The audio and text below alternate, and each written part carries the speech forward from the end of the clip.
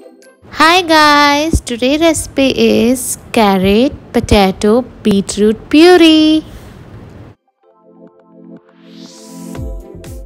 so, हम एक carat लेंगे एक पोटैटो लेंगे और एक बीटरूट लेंगे बीटरूट हम हाफ़ यूज़ करेंगे एंड इस इन सबको अच्छे से वॉश करके पील करके चॉप कर लेंगे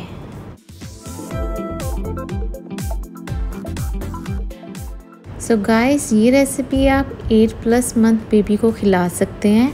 जनरली इससे कोई एलर्जी नहीं होती है बट फिर भी आपको अगर कोई सिम्टम नज़र आए तो आप ये बेबी को ना खिलाएँ।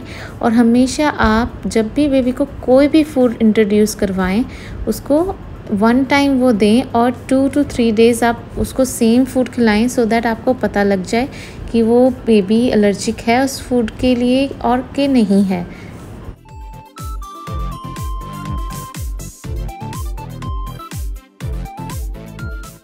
सो so, हमारी वेजिटेबल चॉप हो चुकी हैं। अब मैं इसको 20 मिनट्स तक स्टीम करवाऊँगी। स्टीमर प्लस ब्लेंडर मैं यूज़ कर रही हूँ फ़िलिप्स का। एंड आप अगर आपके पास नहीं है आप इसको टू विसल्स भी लगवा सकते हैं प्रेशर कुकर पे।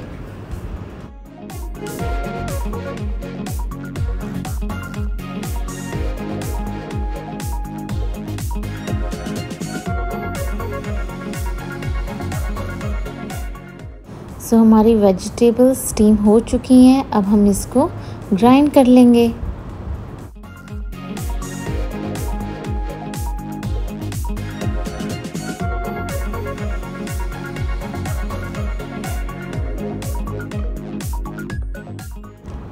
सो so, हमारी carrot potato beetroot puree ready है ready to serve hope you like my recipe if you like my recipe Please like, share and subscribe.